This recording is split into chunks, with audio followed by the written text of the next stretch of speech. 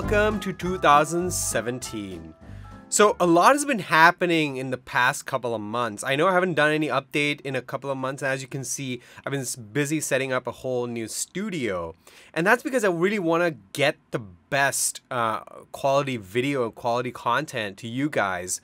So, uh, I had to move, you know, I got married, a lot of things happened, so I decided, hey, you know, if I'm going to move to a new place, let's you know invest in a really really good studio. And as you can see this is the result. I'm very happy with it. Uh, i'm still in the middle of setting everything up but so far it's looking pretty good uh, things are going to change a little bit more around here and once it's done i'll give you guys a studio tour uh, and the setup that i've got um, and so that's kind of been the the update in terms of the physical studio uh, in terms of codemy itself uh, there has been a lot of things going on on this, uh, you know, an update in the software side of things as well.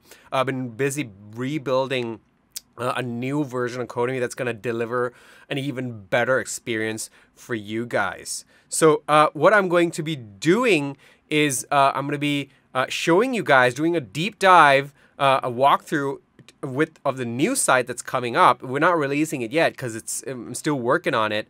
Uh, but you can take a look at what's going on, what updates are happening, like why I'm rebuilding the new site. We'll do a brief walkthrough of the uh, a little bit of the code, a little bit of structure, and I'm be giving you guys. Uh, you, you know the plan for the rest of the year as well like the kind of content i'm going to be covering like what our focus is going to be uh, stuff like that so without any further ado let's hop right in all right, so here we are. Um, I'm gonna hop right into the browser. And so here, this is the new version of Codemy. Um, and you know, I've talked briefly about this UI in the second lab report, but this has come a long way. Like a lot of updates have happened. I changed a lot of the file, the underneath, like you know, under the hood, what's going on. Uh, the code is a lot more efficient. Um, you know, it's there's a lot going on here, uh, which I'm going to be showing you guys um, you know, how to do on screen. Like a lot, I learned a lot building this UI. So I built this settings page. Um, you know, there's a subscription status page now. You can see all the animations flowing in, looking really beautiful. Um, there's a new credit card page. So, you know, previously we got a lot of feedback from our current site.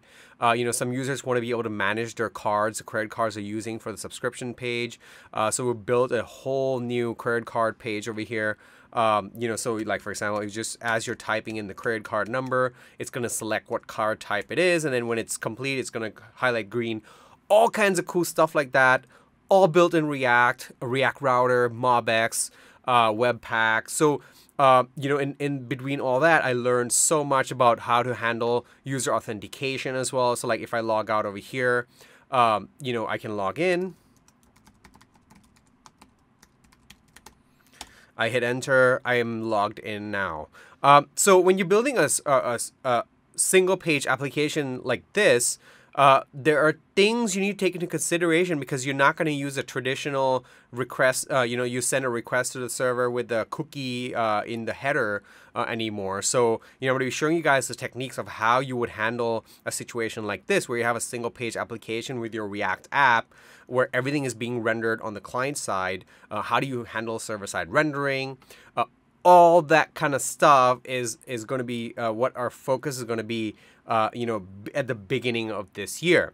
So what that means is we have to have the rails back end to go with uh, the front end. So let's take a little bit uh, look at the what's going on. So as you can see here, uh, I've got two servers started. The backend server, this is the Rails API on the left-hand side over here that you're looking at. And then on the right-hand side over here, uh, we have the Webpack server. And this is what's building the front end for me. So what I have done is I've completely separated the front end and the back end. And I could literally just move this source code of the front end out into a separate repository and uh, you know just have them uh, be apart and, and, and be independent of each other.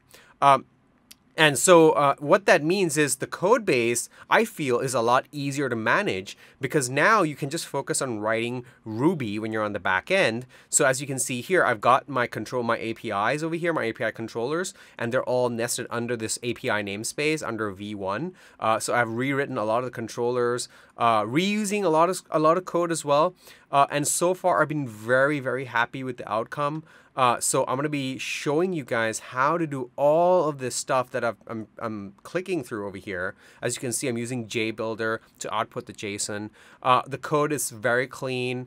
Um, you know, I really like the setup that I've got over here. And so I think moving forward, this is kind of like the way to go in terms of building front end apps and, and back end apps. Um, so using Webpack as the assets pipeline and then basically adding whatever library you want and then using the new ES6 syntax. Uh, you know, so that whole setup, I'm going to be showing you guys. So let me show you the folder structure for the front end stuff. Uh, so this is the, the back end stuff. So I've got my front end stuff here nested in the www folder. And if I go inside, you see everything is componentized. You know, that's the beauty of React. Everything is contained in its own component. Uh, so I've got all these components. Uh, so let's take a look at the sessions component, for example. So this is the, the login page. It's its own component. Um, and another cool thing I've been able to do is abstract a lot of stuff so I can reuse a lot of components. So if I go to the profile page, I click save. There's an alert box over here and you saw that spinner wheel. So those are components that I'm sharing across my application.